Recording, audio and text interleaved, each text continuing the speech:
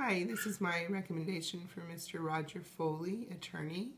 A few years back, uh, I had a family member that got into some trouble, and we were given some cards uh, as recommendations for lawyers. We picked Mr. Foley and called him up, and from that first visit, we knew he was the person that we could trust um, with our case.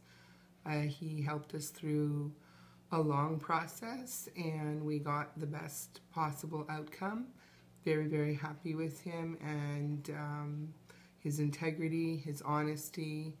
Uh, he supported us 100% all throughout the process, uh, was very, very helpful. And I'd recommend him to anybody. Thanks.